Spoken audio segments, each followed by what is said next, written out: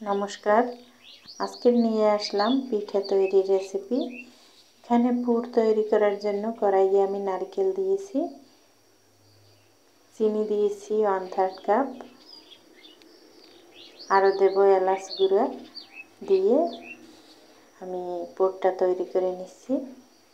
যখন নারকেল, চিনি, আঠালো ভাব চলে আসবে, নামিয়ে নিচ্ছি।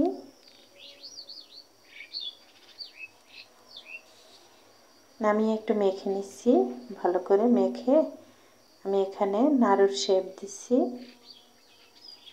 ছোট ছোট নাড়ু তৈরি করে নিচ্ছি।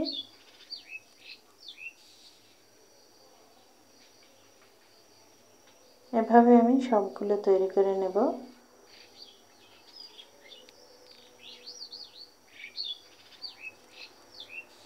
তৈরি করা হয়ে গেছে। এরপর আমি কড়াইয়ে দিয়ে দিলাম দুধ। এখানে দেড় কাপ দুধ দিয়েছি। দেড় কাপ দুধ, চিনি দিয়েছি এখানে, তিন টেবিল চামচ পরিমাণ।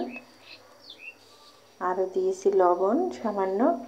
দিয়ে ভালো করে আমি যখন ফুটবে, আমি একটি কাই তৈরি করে নেব, চালের গুঁড়ার কাই। এখানে শুকনো চালের গুঁড়া দিয়েছি, দেড় কাপ পরিমাণ। দিয়ে কাইটা তৈরি করে নিচ্ছি।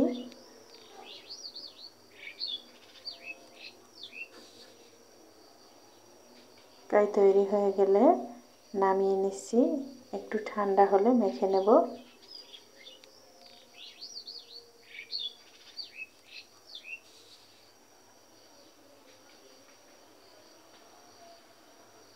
মেখে নিচ্ছি।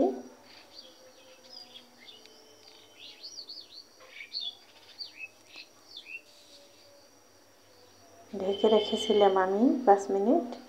এরপর আমি কাইটা থেকে অল্প অল্প পরিমাণ নিয়ে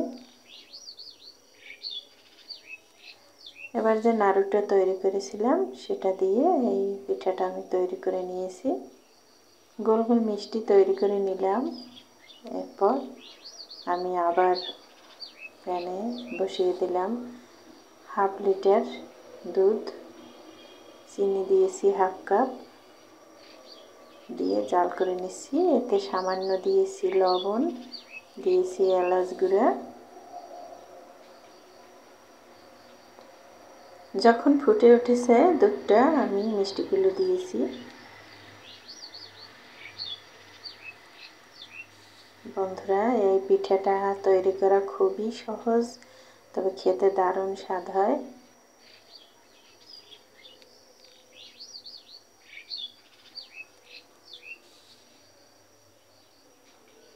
ঢেকে পাঁচ সাত মিনিট আমি জাল করেছি।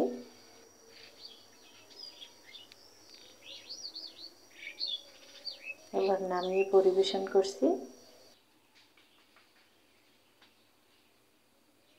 দারুণ স্বাদের পিঠে তৈরি করে নিলাম। ভিডিওটি কেমন লাগল, ভালো লাগলে লাইক, কমেন্ট, শেয়ার করবেন। সাবস্ক্রাইব করে অবশ্যই পাশে থাকবেন। দেখার জন্য ধন্যবাদ।